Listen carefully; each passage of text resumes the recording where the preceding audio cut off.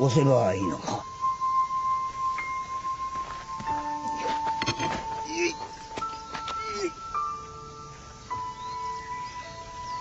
俺でもまだ人の役に立てたか。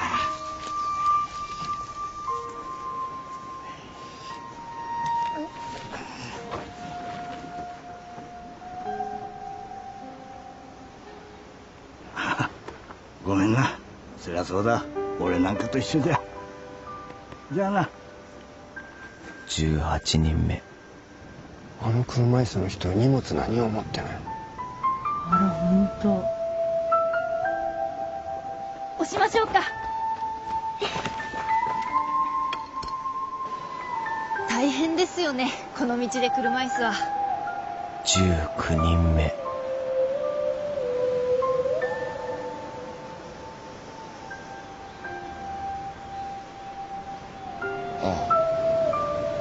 ここで大丈夫です。あそうですか？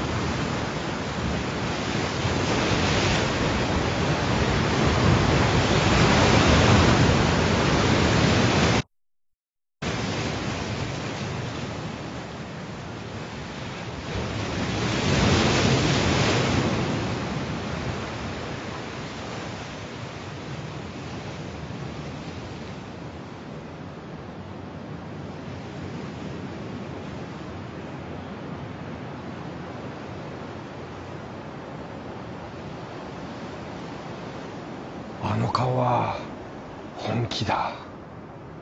どうしましょう。ねえイルカショーやってるからまだ間に合うかも。いやちょやばいってあの感じ。この前聞いたんだけどオタクって自殺したり犯罪を犯したりとかしないんだって。なんで？来週のアニメを見なきゃいけないから。でもあの人オタクじゃねえだろ。どうしましょう。どうしましょう。ここが彼のふるさとなのかもしれない。ふるさと？人生ってのは素晴らしいな。この年まで生きてやっと分かってきた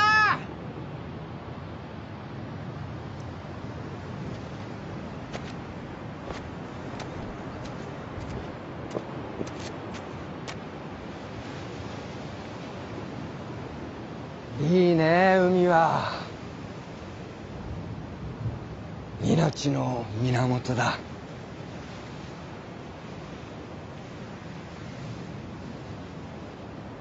君も海を見に？え。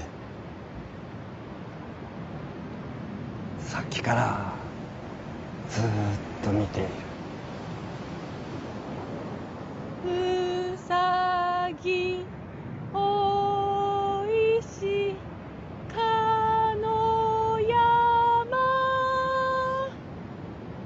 の歌やばくね？逆に死にたくなるよ。なびしかの川なんかここのイルカショーすげえらしいな。あれ見ないで死ねるかっつぐらいすげえジャンプなんだってよ。もう今日の会終わっちゃったよ。バカそういうこと言うな空気読めよ。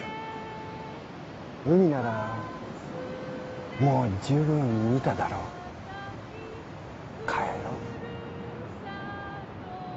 いやうどうせ帰るんだから一緒に帰ろう。用事が。どんな？うるせえんだよ！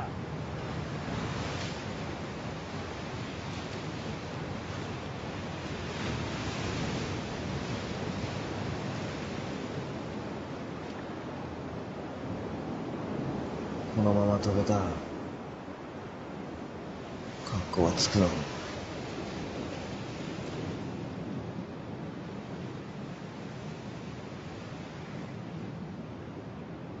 このまま空に向かって。飛べたらなって。そしたら格好がつくのに。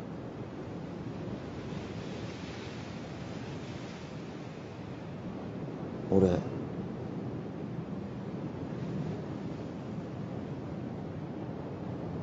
ろくでもない生き方してたんすよ。本当に。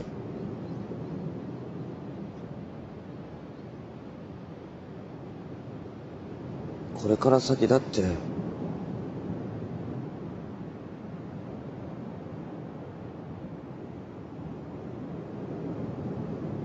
でもないでしょ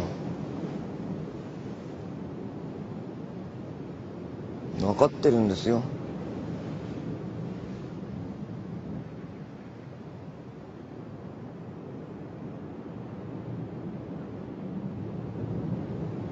こんな体になっちゃって。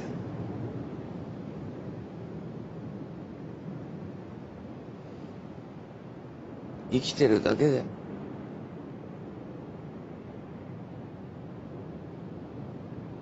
迷惑なやつで。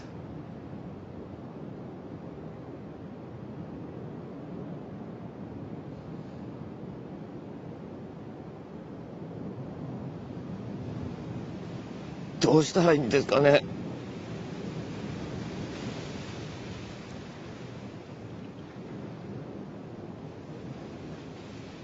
どうしたらいいんですかね俺。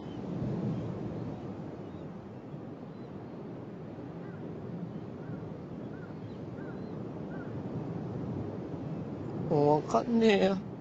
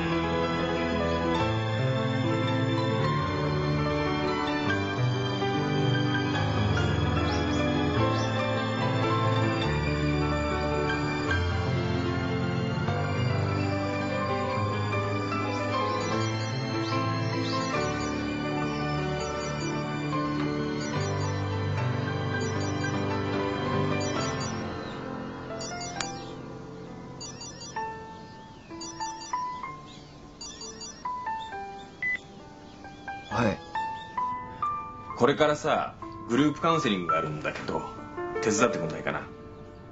無理です。人がさどうしても足りないんだよ。ああ。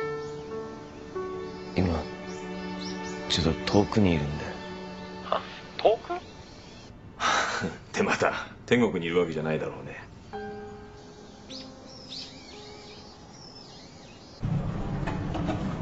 あのグループカウンセリングって何すか？うん。来てくれたらわかるよ。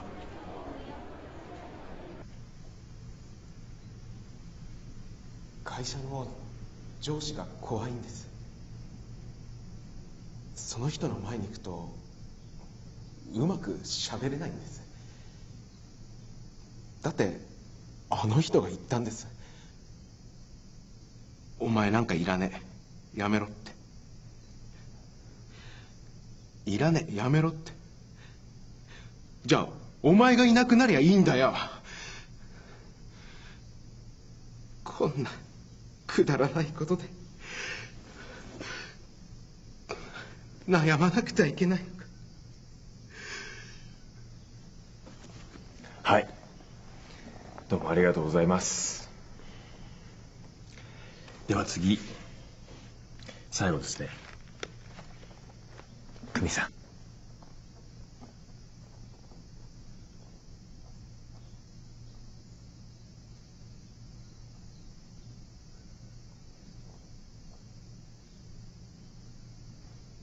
10年前18歳の時に子供を産みました。一緒に住んでた人の。結婚はしてなかったんです。一緒に住んでた人生活費とか全部持って帰ってこなくなっちゃって。ひどいわね。なんてやつだ。うん。初めにも言いましたがここは心の痛みを参加者全員で共有できる場です、うんだから怖がることなんてないんです。大丈夫。続けて。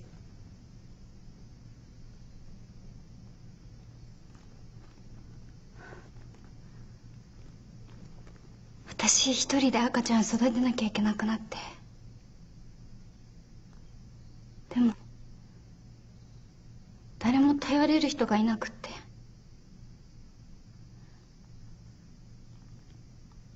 働かなきゃいけないし。近くの託児所もいっぱいで。どうしていいかわからなかった。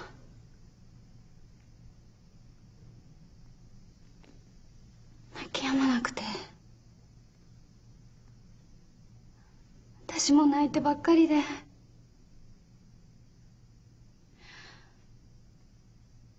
父も出なくなって。もうもうこのまま一緒に死んじゃおうかなって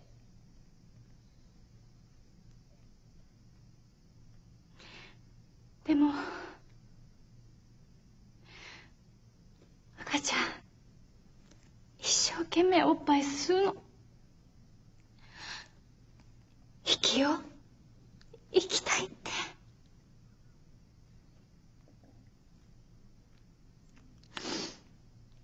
なのにある日赤ちゃん息をしてなかったんです。息をしてないの。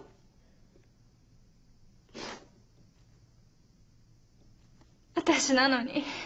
生きてちゃいけないのは私なのに。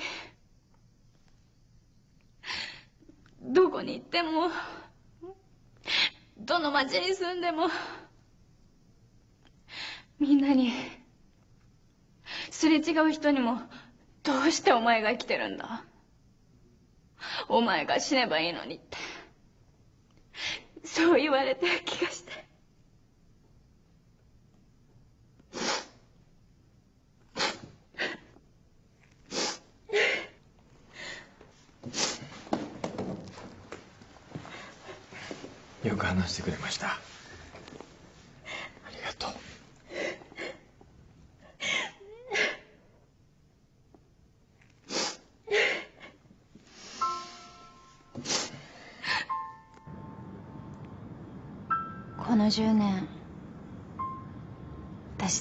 りに嘘ついてきた。まるで悩みなんてないみたいな元気で明るい人っていうのを演じてた。だって本当に楽しいとかなんか食べて美味しいなんて思っていいわけないじゃん。普通に生きる資格なんてあるわけない。今の自分は全部お芝居。笑うお芝居。元気なお芝居。ご飯を食べるお芝居。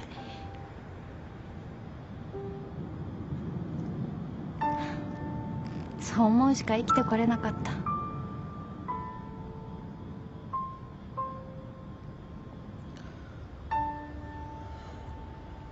た。それって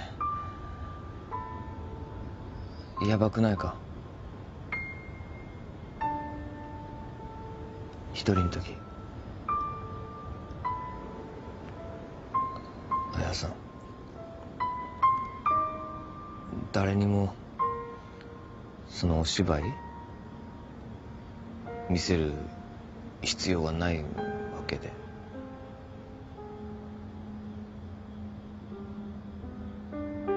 自分を騙せるお芝居なんて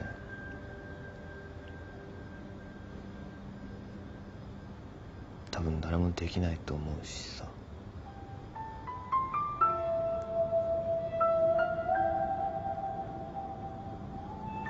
あんたって意外と感じてる人なんだね。意外とってなんだよ。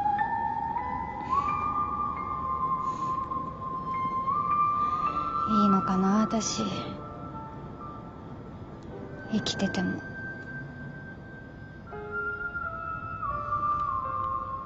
だったら死ねよ。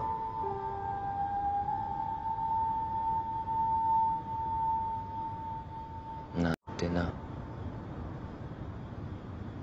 もしさお前の隣に今のお前と同じような状況のやつがいたとしたらなんて言う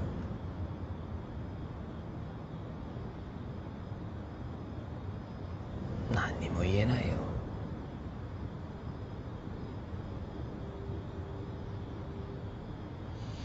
だってさ俺もお前ももうみんな毎日毎日生きてるだけでこんなにのたうち回ってんだか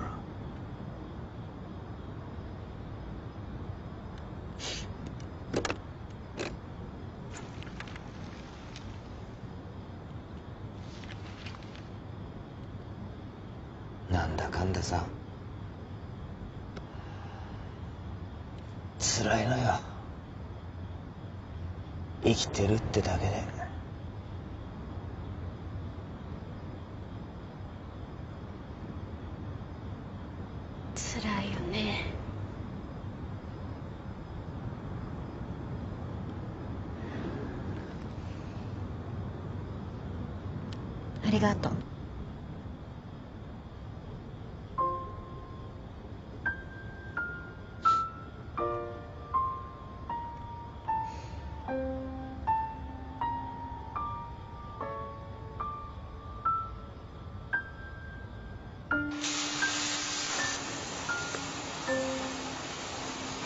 の経験はないんだよね。ないです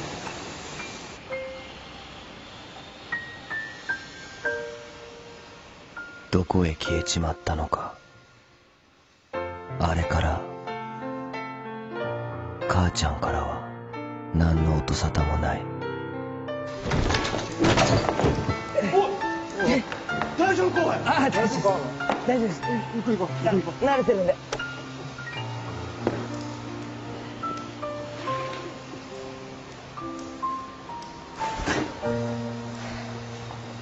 上手じゃないですか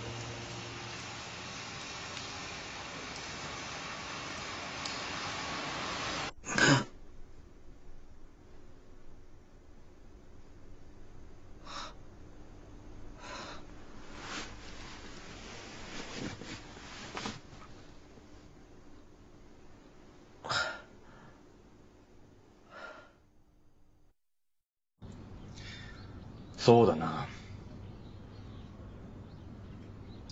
君は人として重大なミスを犯した。あの夜竹広はどんな思いで君と話したかったか。お前は最低だ。人間として最悪だ。お前は人殺しだ。って君はずっと自分を責め続けてんだろ。君は人の心に敏感なんだ。敏感にならざるを得なかった。でも今それを誰か他の人のために役に立ててみるっていうのはどう？ね？会ってみてほしい人がいる。電車に飛び込もうとしてるところを保護された。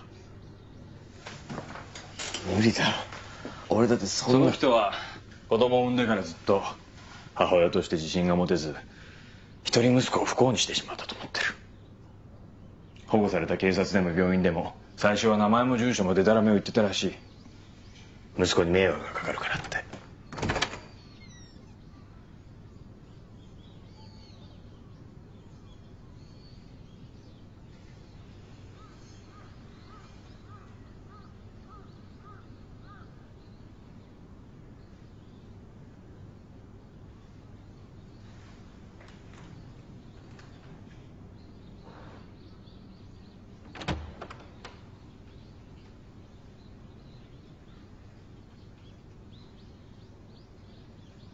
はじめまして。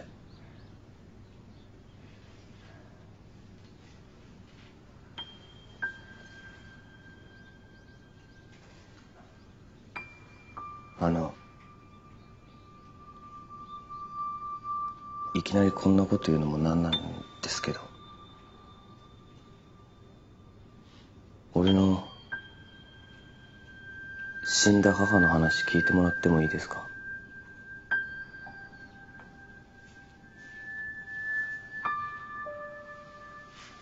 結構人懐っこい人で誰とでも。すぐに。普通に友達になっちゃう人で。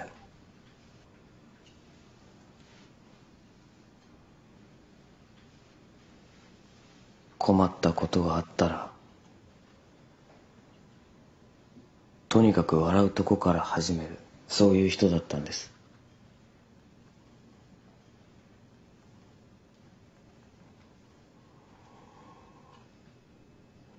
でも死んじゃったんです。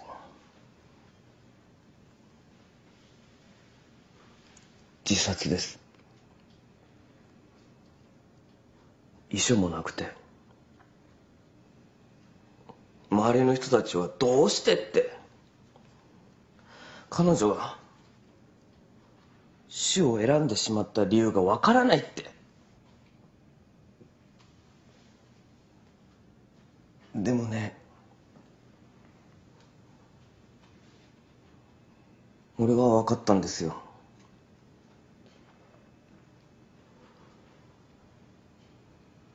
母の自殺の原因は俺でした。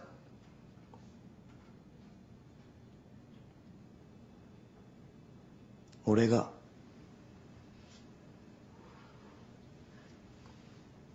母の自殺した原因だったんです。それは周りの人たちもね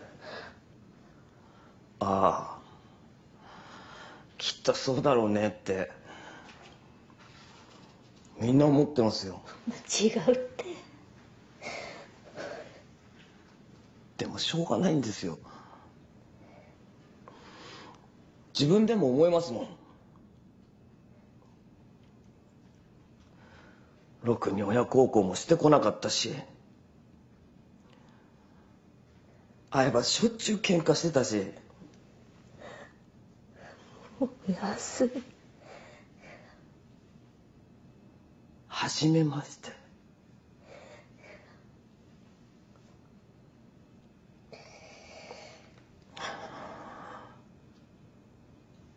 こんな体になっちゃった俺が。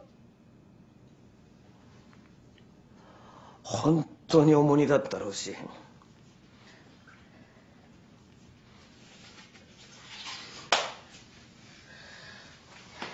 そんな俺が本当に嫌いだったろうし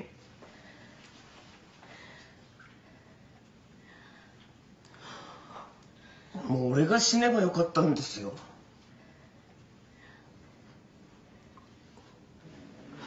俺なんか生まれてこなきゃよかったんだよ。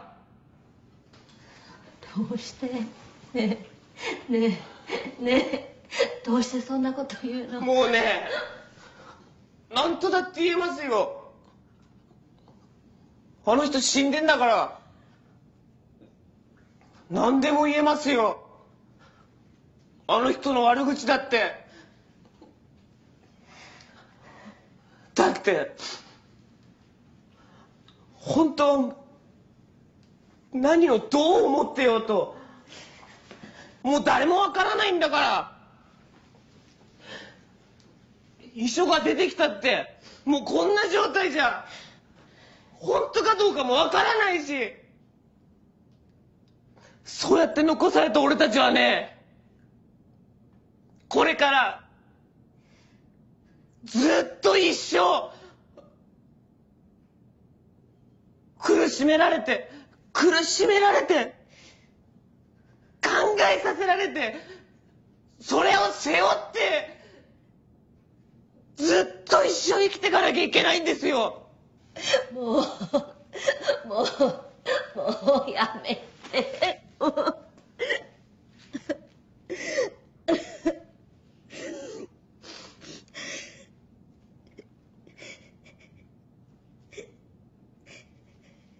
そういうことなんですよ。自殺をするって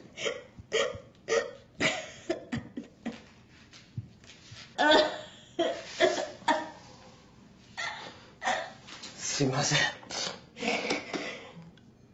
いや今俺は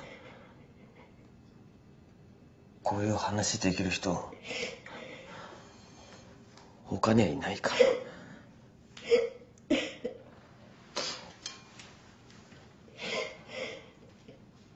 ありがとうございました。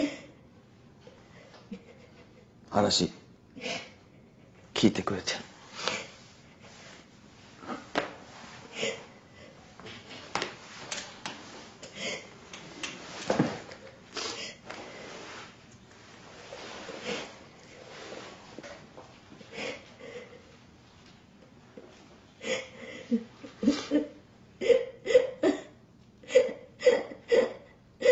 はじめまして。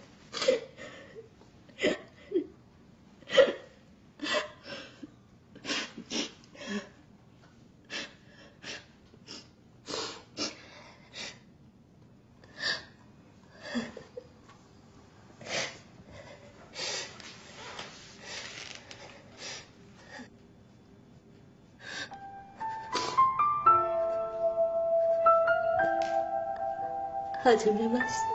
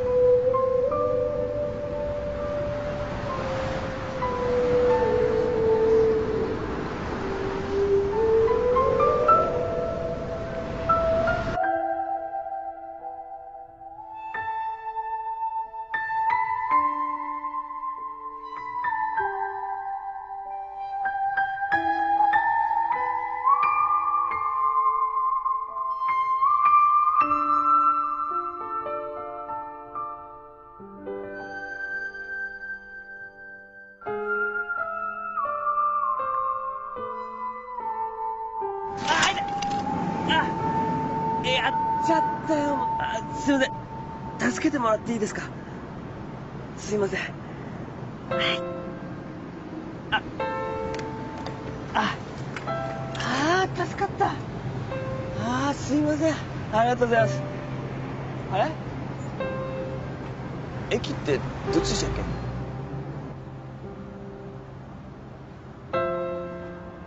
ああ本当すいませんね。助かります。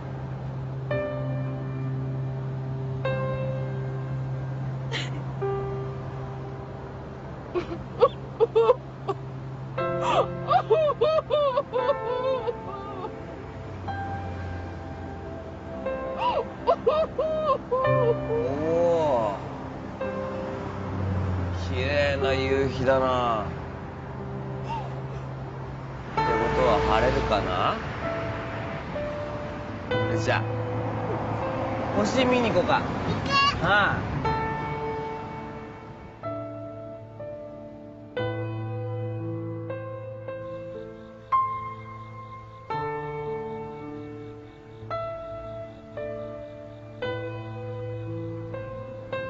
綺麗。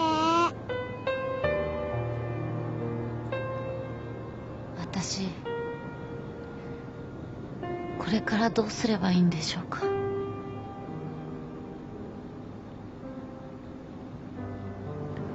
さっきの俺みたいに助けてって言えばいいんじゃないですかね。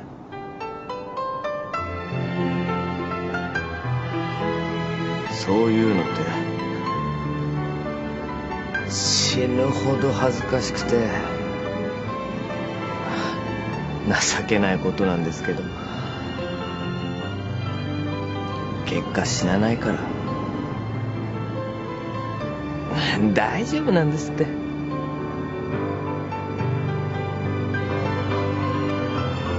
今日生きたら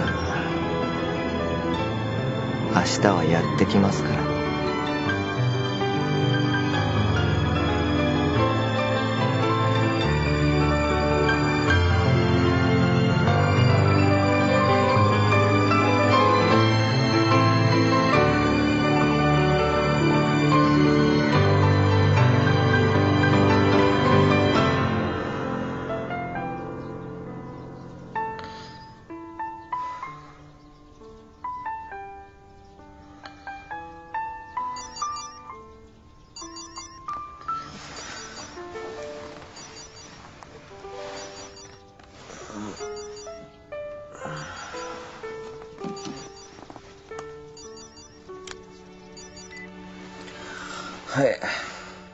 悪い。